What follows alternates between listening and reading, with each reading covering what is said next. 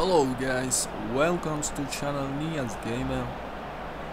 Germany against Mexico penalty shootout.